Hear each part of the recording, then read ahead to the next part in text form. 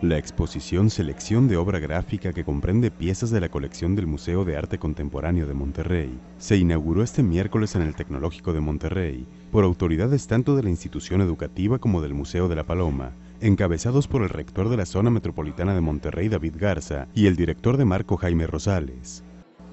La obra gráfica que estará en exhibición hasta finales de mayo muestra la destreza técnica de grandes artistas como Leonora Carrington o Claudio Bravo en el vestíbulo del segundo piso de la biblioteca hay grabados de Carrington como personaje con caballo, animal y obreros irlandeses.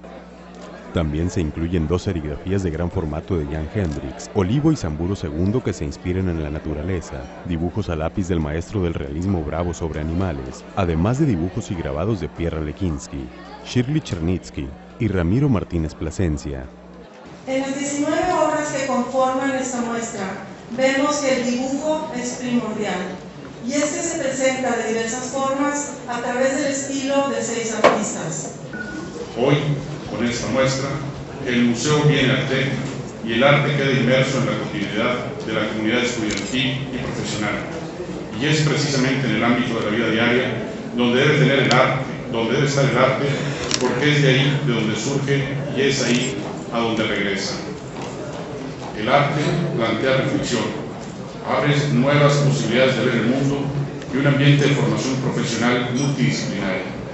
Es un campo exponencialmente propicio para detonar nuevas miradas a partir de la propuesta artística.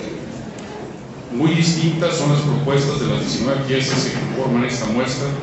Son 19 ventanas abiertas a nuevas reflexiones que surgen de destacados artistas, algunos de ellos figuras consagradas internacionalmente. La muestra forma parte del programa Arte en Biblioteca, que arrancó en octubre del 2004 y que ha llevado una exhibición distinta cada semestre a este espacio, con imágenes de Cristian Córdoba e información de Lourdes Zambrano. Grupo Reforma.